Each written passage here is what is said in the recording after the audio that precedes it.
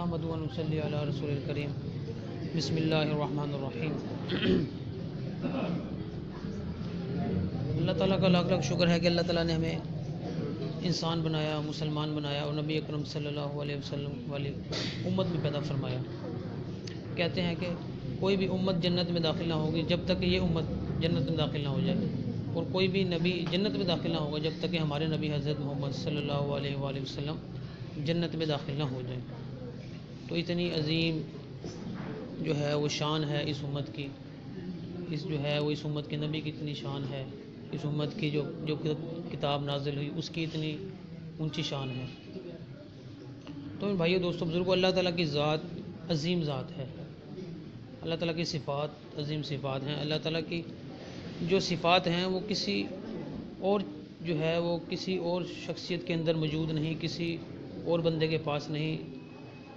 کیونکہ کوئی رب ہے ہی نہیں اس دنیا میں۔ ایک اکیلا رب ہے۔ کلو اللہ عہد اللہ الصمد، لم یلد ولم یولد ولم یک اللہ کفن احد۔ ایک اکیلا ہے۔ نہ اس کا کوئی باپ ہے، نہ اس کا کوئی بیٹا ہے۔ وہ ایک اکیلا ساری کائنات کو چلا رہا ہے۔ ساری کی ساری کائنات کا نظام چلا رہا ہے۔ سورج، چاند، ستاروں کا نظام چلا رہا ہے۔ نظام شمسی کو چلا رہا ہے۔ تو کتنی عظیم طاقت ہے اللہ تعالیٰ کی۔ کتنے بڑے بڑے سورج، کتنے بڑے بڑے ستارے، کتنے بڑے بڑے چاند۔ یہ پورا جو ہے، پوری کائنات ایسی ہے کہ اس کے اندر زمین ایک جو ہے وہ نقطے کی طرح نظر آتی ہے۔ تو اتنی بڑی زمین ہے، وہ ایک نقطے کی طرح نظر آ رہی ہے۔ تو یہ کائنات کتنی بڑی ہوگی؟ تو یہ ساری کی ساری اللہ تعالیٰ جو ہے وہ چلا رہے ہیں، اللہ تعالیٰ اپنی قدرت سے چلا رہے ہیں۔ کہتے ہیں کہ اللہ تعالیٰ جو ہے وہ اللہ تعالیٰ کی اگر تعریف لکھنے بیٹھ جائیں کہ پوری دنیا میں جتنے درخت ہیں، ان کی کاٹ کر اگر کلمے بنا لی جائیں اور جتنے سمندر ہیں، ان سب کی سیاہی بنا لی جائے۔ اور جن اور انسان جو مر چکے، جو آنے والے ہیں، جو موجود ہیں، سب بیٹھ کر اللہ تعالیٰ کی تعریف لکھنا شروع کر دیں، تو کلمے ٹوٹ جائیں گی سیاہی ختم ہو جائے گی، اللہ تعالیٰ کی تعریف ختم نہیں ہوگی۔ تو ایسی جو ہے وہ عظیم شان ہے، ایسی جو ہے وہ عظیم ذات ہے۔ کہتے ہیں کہ اللہ تعالیٰ کی جو ہے وہ دیکھنے کی طاقت کیسی ہے؟ ایسی طاقت ہے کہ کالی رات ہو، کالی چونٹی ہو وہ کالے پتھر کے اوپر چل رہی ہو۔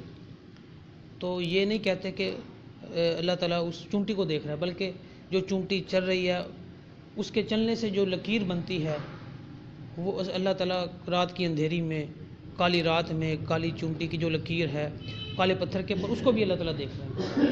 اللہ تعالیٰ جو ہے، وہ سننے کی طاقت اللہ تعالیٰ کی ایسی ہے کہ تمام دنیا کے جن انسان جو ہے، وہ اپنی اپنی زبان میں یعنی کہ جتنے جن انسان ہیں اتنی ہی اگر ان کو زبانیں دے دی جائیں تو وہ ہر انسان جن اپنی اپنی زبان میں اللہ تعالیٰ سے مانگنا شروع کر دے تو اللہ تعالیٰ ہر انسان کی ہر جن کی بات کو سنے گے اور اس کو عطا کرے گے۔ تو میرے بھائی دوستوں بزرگوں جو ہے، لا الہ الا اللہ محمد رسول اللہ، کہ اللہ تعالیٰ کے سوا کوئی عبادت کے لائق نہیں۔ اور نبی کریم صلی اللہ علیہ وسلم جو ہے، وہ اللہ تعالیٰ کے رسول ہیں۔ یہ جو کلمے کا مقصد ہے کہ اللہ تعالیٰ زمین و آسمان کا جو ہے خالق ہے، مالک ہے رازق ہے۔ یہ اللہ تعالیٰ کی عظمت کو بیان کر رہے ہیں کہ اللہ تعالیٰ کی عظمت ہمارے دل میں اتر جائے۔ جب اللہ تعالیٰ کی عظمت جو ہے وہ ہمارے دل میں اترے گی، تو پھر ہی جو ہے وہ ہم پورے کے پورے دین پر چلنے والے بنیں گے۔ تو اسی طرح جو ہے نماز ہے۔ کہتے ہیں کہ الصلاۃ ایمان الدین، نماز دین کا ستون ہے۔ جس شخص نے نماز کو قائم کیا، اس نے دین کو قائم کیا۔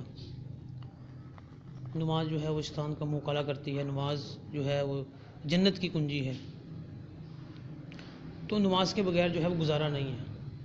حضرت محمد صلی اللہ علیہ وسلم کا آخری وقت ہے، جا رہے ہیں۔ فرما رہے ہیں کہ جاتے جاتے کہہ رہے ہیں کہ میری امت نماز نہ چھوڑنا، میری امت نماز نہ چھوڑنا، میری امت نماز نہ چھوڑنا۔ تو اسی طرح حضرت حسین رضی اللہ تعالیٰ عنہ نے کیا سبق دیا؟ کہ اپنی گردن کٹوا لی، لیکن نماز کو نہیں چھوڑا۔ تو نماز اتنی ضروری ہے، مفتی ایک مفتی صاحب فرما رہے تھے کہ نماز جو ہے وہ اتنی ضروری ہے کہ سفر کے اندر آپ جائیں گے نا، ادھر بھی آپ کو نماز معاف نہیں۔ سفر کے اندر جاتے ہیں، نماز معاف نہیں۔ بیمار ہے نماز معاف نہیں۔ حالانکہ روزے میں اگر جو بیمار ہے، روزہ چھوڑ سکتا ہے۔ بیمار ہے، روزہ چھوڑ سکتا ہے۔ سفر میں ہے، انسان روزہ چھوڑ سکتا ہے، لیکن نماز سفر میں بھی معاف نہیں۔ اتنی ضروری نماز ہے۔ بیمار ہے، بندہ بیمار میں معاف نہیں۔ جنگ ہو رہی ہے، جنگ میں بھی نماز معاف نہیں۔ تو کتنی ضروری جو ہے وہ یہ نماز ہے، اور ہم نے نماز کو جو ہے وہ ضروری نہیں سمجھا۔ پانچ فیصد لوگ نماز پڑھے ہیں، پانچ، سات فیصد لوگ۔ نماز نماز کی پرواہ ہی نہیں کسی کو، کوئی بھی نماز نہیں پڑھ رہی۔ جو پڑھ رہے ہیں، وہ نماز پڑھ رہے ہیں، لیکن ان کا دھیان کہیں اور ہے۔ جیسے صحابہ نے پڑھی کہ صحابہ ایک صحابی نماز پڑھ رہے تھے، ان کو تیر لگا، ان کو پتہ ہی نہیں چلا۔ جب انہوں نے سلام پھیرا، تو پھر پتہ لگا کہ بھائی مجھے تیر لگا ہے۔ تو لوگوں نے نکالنا شروع کیا، تو ان کو تکلیف ہوئی۔ تو انہوں نے کہا ایسا، انہوں نے پھر انہوں نے کہا کہ میں ایسا کرتا ہوں، میں دوبارہ نماز پڑھتا ہوں۔ کیونکہ نماز کے اندر میرا تعلق ایسا اللہ تعالیٰ سے بن جاتا ہے، تو مجھے کسی چیز کی جو دکھ نہیں ہوتا، تکلیف نہیں ہوتی۔ جب انہوں نے نماز باندھی، تیر نکال لیا لوگوں نے، جب انہوں نے سلام پھیرا تو انہیں پھر بتایا کہ بھائی آپ نے تیر نکال لیا، انہوں نے کہا ہم نے تو نکال لیا۔ خیر، مجھے تو بالکل بھی پتہ نہیں چلا۔ تو ایسی نماز ہے، ایسا اللہ تعالیٰ سے تعلق ہے، ایسا اللہ تعالیٰ کے ساتھ قرب ہے کہ جب انسان نماز کی نیت باندھے، صرف اللہ نظر آئے۔ اور کوئی چیز جو دنیا جو ہے وہ دنیا کی سامنے، ایسی نماز ہم نے بنانی ہے۔ ایک صحابی کا گندہ جو ہے وہ مر گیا۔ تو صحابی نے نماز پڑھی۔ اللہ تعالیٰ سے دعا کی۔ کہ اللہ تعالیٰ، جو ہے وہ قیامت کے دن بھی تو زندہ کرے گا، بھی زندہ کر دے، مجھے اس کی ضرورت ہے۔ تو اللہ تعالیٰ نے جو ہے وہ دعا قبول فرما لی نماز نماز کی برکت سے۔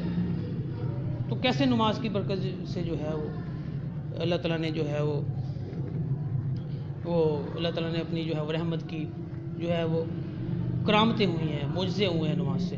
ایک صحابی کا جو ہے وہ بچہ فوت ہو گیا، صحابیہ کا بچہ فوت ہو گیا۔ نئی نئی مسلمان ہوئی تھی۔ تو وہ پھر نبی کریم وسلم کے پاس آئی۔ وہ آپ تو کچھ نہ کر سکی کیونکہ اللہ تعالیٰ کی مرضی کے سے بچہ فوت ہوا ہے۔ وہ کہنے لگی میں تو نئی نئی مسلمان ہوئی تو کافر کہیں گے بھائی، یہ بھی مسلمان ہوئی ہے۔ تو یہ دیکھو اس کا بچہ ہی فوت ہو گیا۔ اسی وجہ سے ہوا ہے۔ یہ جھوٹے دن کی طرف جا رہی تھی، اس لیے ہوا ہے۔ تو اس نے اللہ تعالیٰ سے گڑ گڑا کے دعا مانگی۔ اللہ تعالیٰ سے گڑ گڑا کے دعا مانگی۔ تو اللہ تعالیٰ نے اس کا بچہ زندہ کر دیا۔ تو صحابہ کہہ رہے پتہ نہیں پھر کتنے سال بعد وہ فوت ہوا۔ بچہ مر گیا، پھر تو اللہ تعالیٰ نے زندہ کر دیا۔ تو یہ کیا ہے؟ اللہ تعالیٰ سے تعلق ہے، اللہ تعالیٰ سے لگاؤ ہے۔ ہمارا اللہ تعالیٰ سے آج کا تعلق نہیں ہے۔ اللہ تعالیٰ سے لگاؤ نہیں ہے۔ اب نماز ہم اس طرح پڑھیں گے کہ ہمیں علم کا ہونا ضروری ہے۔ ہمیں علم ہی نہیں، ہمیں پتہ نہیں کہ نماز کے فرض یہ ہیں، نماز کے واجبات یہ ہیں۔ تو ہم اگر ہمیں فرض کا نہیں پتہ تو ہم کیسے جو ہے وہ نماز پڑھیں گے؟ اب وضو کے فرائض ہیں۔ ایک بھی اگر بندہ وضو کا فرض چھوڑ دے نا، وضو چھوڑ دے تو پھر وضو نہیں ہوتی۔ اگر وضو نہیں ہوگی تو پھر نماز بھی نہیں ہوگی۔ تو اسی طرح نماز کے فرائض ہیں۔ نماز کا ایک فرض بھی چھوٹ جائے، ہمیں پتہ ہی نہیں نماز کے فرائض کون سے ہیں۔ اگر اس میں سے ایک بھی چھوٹ جائے تو ہماری نماز نہیں ہوگی۔ تو علم کا بہت ضروری ہونا ہے، کیونکہ یہ اتنا علم حاصل ہو جائے کہ ہم نماز پڑھ لیں، اپنی عبادات جو ہے وہ اچھے طریقے سے ادا کر لیں۔ ہمیں پتہ لگ جائے کہ بھائی زندگی کیسے گزارنی ہے، اتنا علم تو ہر انسان کے پاس ہونا چاہیے۔ عالم اور جاہل میں بہت بڑا فرق ہے۔ ایک واقعہ ہے کہ جو ہے وہ ایک شیطان آیا کہ ایک جو ہے وہ ایک عابد ایک عابد تھا۔ بہت نیک تھا، اللہ تعالیٰ کی مدد کرتا تھا، لیکن اس کے پاس علم نہیں تھا۔ تو شیطان اس کے پاس شیطان نے جو ہے اس کے پاس گیا، اس سے پوچھتا ہے ہاں بھائی، بتا کیا اللہ تعالیٰ سوئی کے ناکے میں سے اونٹ کو گزار سکتا ہے؟ کیونکہ اس کے پاس علم نہیں تھا، وہ صرف اللہ تعالیٰ کی مدد کرتا تھا۔ تو غیر عالم تھا، اسے پتہ ہی نہیں۔ اسے کہا، کیسے اللہ تعالیٰ گزار کر سکتا ہے؟ اللہ تعالیٰ یا اونٹ کے، جو، یا اونٹ کو چھوٹا کر دے گا، یا سوئی کے ناکے کو بڑا کر دے گا۔ ایسے ہی ہوگا۔ وہ فرستان عالم کے پاس گیا، اس سے سوال کیا اس نے کہا، کیوں نہیں کر سکتا؟ اللہ تعالیٰ تو ہر چیز پر قادر ہے. سوئی کے ناکے میں سے اونٹ اللہ تعالیٰ گزار سکتا ہے؟ کیوں نہیں گزار سکتا؟ تو اس نے فوری طور پہ جواب دیا۔ تو یہ ایک عالم کو جو ہے وہ غیر عالم کا فرق ہے۔ اب جب ہمیں علم نہیں ہوتا کسی چیز کا، تو اسے ایمان کا بھی خطرہ ہے کہ ہمیں کچھ ایسی ہم جو ہے وہ بغیر علم کے جو ایسی باتیں کر لیتے ہیں، کوئی منہ سے زبان سے نکل جاتا ہے، تو جس سے جو ہے ایمان کم ہونے کا خطرہ ہوتا ہے تو اس طرح علم کا بہت ضروری ہے۔ اس طرح جو ہے وہ ہر عبادت کے اندر، روزے کے اندر، نماز کے اندر جو ہے وہ علم ضروری ہے۔ ہمیں پتہ ہو جائز کیا چیز ہے، ناجائز کیا چیز ہے، حرام کیا چیز ہے، حلال کیا چیز ہے۔ پوری زندگی ہم نے گزارنی ہے۔ ہمیں پتہ ہونا چاہیے نا بھائی حرام یہ چیز ہے، حلال یہ چیز ہے۔ اب ایک بندہ دکان چلا رہا ہے، اس کو ضروری ہے کہ وہ بھائی کسی عالم کے پاس جائز کے مسائل سیکھے۔ تو مسائل سیکھے گا تو پتہ چلے گا بھائی جو ہے وہ کم تولنے میں یہ سزا ہے، پورا تولنا ہے۔ تو اس طرح جو ہے وہ اس کو پتہ چلے گا اس طرح یہ علم، اس کو اس کے لیے ضروری ہے۔ علم جو ہے وہ یہی وہ علم کی فضیلت ہے۔ کہ انسان جو ہے وہ اچھے طریقے سے اپنی دنیا کو جو ہے وہ گزارتا ہے اور اپنی اس سے آخرت بناتا ہے۔ تو اس طرح جو ہے وہ کہتے ہیں کہ ہر مسلمان جو ہے وہ دوسرے مسلمان کا اکرام کرنے والا بن جائے۔ کہ چھوٹے جو ہیں چھوٹوں پر شفقت کی جائے، بڑوں کا ادب کیا جائے، علماء کرام کی جو ہے وہ، علماء کرام کی عزت کی جائے۔ تو یہ جو ہے اکرام مسلم اس میں جو ہے والدین کے حقوق بھی آتے ہیں۔ والدین کے بارے میں ایک جو ہے نبی کریم صلی اللہ علیہ وسلم فرماتے ہیں کہ اگر میری والدہ زندہ ہوتی اور میں فرض نماز پڑھا ہوتا، اس مسئلے پہ کھڑا ہوتا تو میری والدہ مجھے کاٹتی تو میں نماز توڑ کے جو ہے اس اپنی والدہ کی، اپنی والدہ کی بات سننے جاتا۔ تو آج کل کیا ماؤں کو ذلیل کیا جا رہا ہے؟ باپ جو ہے والدین کی بات نہیں مانی جا رہی۔ اس طرح نبی کریم صلی اللہ علیہ وسلم گزر رہے تھے قبر نبی کریم صلی اللہ علیہ وسلم کہیں بھی گزر رہے تھے سابق رام نے بتایا کہ ایک صحابی فوت ہو گئے، ان کی کل، ان کی زبان سے کلمہ جاری نہیں ہو رہا۔ تو آپ وسلم نے پوچھا، بھائی، ان کے والدین زندہ ہیں؟ انہوں نے کہا، نہیں، ان کی والدہ زندہ ہے، باپ فوت ہو گیا۔ ان کی والدہ کو بلاؤ۔ والدہ کو بلایا گیا۔ پوچھا گیا، بھائی، کیا کوئی یہ اس سے آپ ناراض ہیں؟ اس نے کہا ہاں ناراض ہے جب میرے سے بات کرتا ہے تو بدتمیزی کے ساتھ بات کرتا ہے۔ میرا دل دکھا۔ جب بات کرتا ہے، میرا دل دکھا دیتا ہے۔ تو آپ نے کہا، اس کو معاف کر دو، یہ تو آخری اس دنیا سے جا رہا ہے۔ میں نہیں معاف کروں گی۔ میرا دل دکھایا اس نے مجھے بہت تکلیف ہوتی ہے۔ تو میں کیوں اس کو معاف کروں؟ تو آپ صلی اللہ علیہ وسلم صاحبہ کو فرمایا کہ جی، لکڑیاں لاؤ، اس کو آگ میں جلاؤ۔ تو اس کی والدہ کہنے لگی، آگ میں آپ کیوں جلا رہے ہیں؟ وہ کہہ رہے، اگر آپ تو نہیں معاف کرے گی تو اللہ تعالیٰ اس آگ میں ہی تو ڈالے گا۔ تو میں اگر جلا دوں گا تو بچ جائے گا آگے جا کے۔ تو اس کے والدہ نے کہا، میں نے اس کو معاف کیا۔ جو ہی اس نے معاف، اس کی والدہ نے اس کو معاف کیا، جو ہی اس کی زبان سے کلمہ جاری ہو۔ تو یہ ہم اس باتوں کو دیکھتے نہیں، اپنا والدین، بڑے والدین ہیں، ان کی خدمت نہیں کرتے۔ ان کی جو بات ہے، اگر وہ اونچا بولتے ہیں، بولنے دیں جو ہے وہ جیسے بھی ہے، ہم نے تو اپنی آخرت بنانی ہے نا۔ ان کے جو ہے، ان کی بات کو مان کے چلنا ہے۔ بوڑھے والدین ہیں، ان کی خدمت کرنی ہے۔ جب تک زندہ ہیں، وہ، وہی جنت ہیں۔ ان کے ان کے پاؤں تلے جنت ہے جب تک ان کی خدمت کریں گے، اللہ تعالیٰ جو ہے، وہ ہمیں کامیابی جو ہے، وہ آخرت میں کامیابی دیں گے۔ تو بھائی دوستوں بزرگوں تو ہم نے جو ہے، وہ اس دنیا میں رہ کر جو ہے، اس کی آخرت کی تیاری کرنی ہے۔ سب انسانوں نے کیا ہے، ایک دن مر جانا ہے، اس دنیا سے کیا چلے جانا ہے، ختم ہو جانا ہے، مٹی ہو جانا ہے۔ ہم اپنے والدین کے، اپنے جو ہے وہ دادا، پردادا کی طرف دیکھیں، شاید کچھ لوگوں کے دادا زندہ ہوں پر دادا کو کسی کا بھی نہیں زندہ ہوگا۔ اب سب کدھر جا رہے ہیں؟ سب قبر کے اندر جا رہے ہیں۔ ایک دن سبھی کو مرنا ہے، یہاں سے کوچ کرنا ہے۔ قبر کے گہرے کنویں میں ہر انسان کو بسلنا ہے۔ حیفانی جسم، پھر کیسا یہ بننا اور سنورنا ہے۔ یہ مٹی ہے بدن تیرا، پھر مٹی میں یہ ڈھلنا ہے۔ ہر شے چھوڑ کر ہاں بس عمل کو ساتھ چلنا ہے۔ جیسا بیج تھا ڈالا، اسی کا پھول پلنا ہے۔ ابھی تو وقت ہے باقی، اگر خود کو بدلنا ہے۔ ہاں پہلے موت سے غافل، اگر تجھ کو سمجھنا ہے۔ تو یہ دنیا جو ہے وہ عارضی ہے۔ کبھی بھی جو ہے آپ کا بلاوا آ سکتا ہے۔ آپ کہتے ہیں بھائی چلو بھائی اور اللہ تعالیٰ کی طرف بلاوا آ گیا۔ تو ہم یہ تو نہیں کہہ سکتے بھائی ٹھہرو یار، تھوڑا سا میں نے تو، میں تو گناہ کرتا رہا۔ توبہ تو میں کرنے دو تھوڑی سی۔ میں توبہ کر لوں، پھر چلا جاؤں۔ جب موت کا وقت آ گیا، پھر توبہ کا بھی جو ہے وہ ٹائم ختم۔ انسان کا جو ہے موت سے پہلے پہلے انسان توبہ کر سکتا ہے، اس کے بعد توبہ کا وقت بھی نہیں ہوگا۔ تو بھی جو ہے وہ مختصر زندگی، اس کو غنیمت جان لیا جائے۔ یہ نہ کوئی جو موت کا فریضہ سر پر کھڑا ہو، پھر پچھتاوا ہو، کاش میں کچھ کر لیتا، کاش جو ہے میں نماز پڑھ لیتا، کاش جو ہے وہ میں اپنے اچھے جو ہے وہ دین پر چل لیتا، والدین کی خدمت کر لیتا۔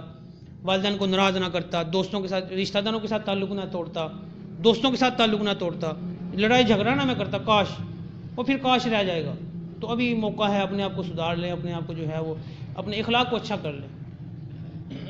کہتے ہیں کہ ستر فیصد جو ہے نا، بلکہ اسی فیصد معاملات ہے دین معاملات ہے بیس فیصد جو ہے یہ عبادات ہیں۔ اب ہم عبادات پوری کر دیتے ہیں، نماز پڑھ لی، روزہ رکھ لیا، باقی ہم معاملات کو نہیں دیکھتے۔ کوئی رشتہ دار اگر کوئی شادی میں نہیں بلاتا تو ہم کہتے ہیں ہم نے نہیں جانا، اس نے نہیں بلایا تو ہم بھی نہیں بلائیں گے۔ بھائی دین کہتا ہے جو توڑے اسے جوڑو، جو آپ کو محروم کرے آپ سے چھینے، اس کو تا کرو۔ جو آپ پر ظلم کرے اس کو معاف کر دو۔ یہ اخلاق ہے اللہ اخلاق ہے تو اخلاق کی بدولت ہی اللہ تعالیٰ جنت میں جو ہے وہ بھیجیں گے۔ اب اے نبی کریم صلی اللہ علیہ وسلم کے پاس جو ہے وہ بتایا جاتا ہے کہ بھئی ایک عورت ہے، دن بھر روزہ رکھتی ہے، رات بھر نماز پڑھتی ہے، لیکن اس کا اخلاق اچھا نہیں۔ آپ نے یہ، آپ نے سوچے بغیر کہہ دیا کہ بھائی جنت میں نہیں جائے گی، دوزخی ہے۔ اخلاق اچھا نہیں، دوزخی ہے۔ ہم چاہے ساری عمر نمازیں پڑھتے رہیں، جو ہے وہ دین کی تبلیغ کرتے رہیں، کچھ بھی کرتے رہیں، اگر ہماری ہماری زبان سے، ہمارے ہاتھ سے کسی کو تکلیف پہنچتی ہے نا، کچھ بھی قبول نہیں ہے۔ یہ میں نہیں کہہ رہا، یہ نبی کریم صلی اللہ علیہ وسلم کی حدیث ہے کہ جس کا اخلاق اچھا نہیں، آپ نے اس عورت اس عورت کو آپ نے کہتے کہ وہ جہنمی ہے، وہ دو میں جائے گی۔ تو ایک اور بتایا ایک عورت کے بارے میں اور بتایا گیا بتایا گیا کہ وہ پورے جو ہے نا، وہ فرض اپنے پورے کرتی ہے، لیکن اس کا اخلاق بہت اچھا ہے۔ وہ زیادہ کوئی جو ہے، وہ سارا دن روزہ نہیں رکھتی نماز تہجد کی اتنی تہجد گزار نہیں ہے۔ بس اپنے فرائض پورے کرتی ہے۔ تو آپ وسلم سے کہا گیا کہ لیکن اس کا اخلاق بہت اچھا ہے۔ تو اللہ تعالیٰ آپ وسلم نے فرمایا کہ وہ جنتی ہے۔ جنت کی بشارت دے دو اس کو جا کے۔ تو بھائی ہمیں اخلاق اچھے کرنے کی جو ہے وہ آج کل بہت ضرورت ہے۔ اخلاق کی بہت کمی ہے۔ نماز والے بہت سے لوگ ہیں۔ روزے والے بہت سے لوگ ہیں۔ تہجد میں اٹھنے والے بہت سے لوگ ہیں۔ داڑیوں والے بہت سے لوگ ہیں۔ اور بہت سے جو ہے نیک حج حج کرنے والے بہت سے، عمرے کرنے والے بہت سے لوگ۔ اخلاق والے نہیں مل رہے آج کل۔ ساتھ والے مسلمان بھائی کا ہم دل دکھا رہے ہیں، رشتہ داروں کا دل دکھا رہے ہوتے ہیں۔ تو ہمیں جو ہے اس کو سوچنے کی ضرورت ہے، اپنے اس جو ہے وہ اخلاق کو بہتر کرنے کی ضرورت ہے۔ بھائی رشتہ دار ہیں، اپنے بھائی ہیں۔ بھائی بھائی کے کیس ہو رہے ہیں عدالتوں میں۔ زمین کے جھگڑے ہیں۔ بھائی، زمین دے دو اس کو، کیا ساری عمر کیا کرے گا؟ زمین لینی ہے تو دے دو اس کو۔ بھائی، آخرت میں جانا ہے، مرنا ہے۔ حساب جو ہے وہ آگے جا کے دینا ہے۔ اللہ تعالیٰ اس سے کہیں آپ کو محل دے دے گا۔ لڑائی کیوں کر رہے ہو؟ بھائی بھائی کہتا ہے، بھائی میری میں نے لینی ہے زمین، اس کو دے دو زمین، کوئی یہ کوئی جائیداد کا جھگڑا ہے، جو اس کا جھگڑا ہے۔ لڑنے کی کیا ضرورت ہے؟ بھائی یا رشتہ ہے، وہ خون ہے۔ تو اللہ تعالیٰ جو ہے، وہ ہم سب کو اس پر عمل کرنے کی توفیق کتاب فرمائے۔ اور یہ جو ہوتا ہے، یہ یاد دہانی ہوتی ہے کہ یہ جو محنت کا کام ہے، جو یہ اچھے اخلاق ہیں، جو عبادات ہیں، یہ ہم گھر بیٹھ کے نہیں سیکھ سکتے۔ اس کے لیے جو ہے، وہ نکلنا پڑے گا۔ اپنی جان لگانی پڑے گی، اپنا مال لگانا پڑے گا، محنت تو کچھ کرنی پڑے گی نا۔ اب دنیا میں رہ کے جو ہے، دنیا کے اندر، دنیا کے ماحول کے اندر ہیں اور ہم یہ کہیں کہ جو ہے ہم اچھے اخلاق والے بن جائیں گے، اچھے جو ہے، وہ نیک انسان بن جائیں گے۔ تو ایسا بالکل حقیقت ہونے والا نہیں۔ اس کے لیے گھر کو چھوڑنا پڑے گا۔ گھر کو چھوڑ کے ایک ماحول میں جائیں گے جہاں اللہ والے لوگ ہوں گے۔ ان کی صحبت سے جو ہے شاید اللہ تعالیٰ ہمارے دل بدل دے۔ تو اس کے لیے نبی جو ہے، وہ نبیوں نے محنت کی، صحابہ نے محنت کی، اپنی ساری ساری زندگی صحابہ نے لگا دی۔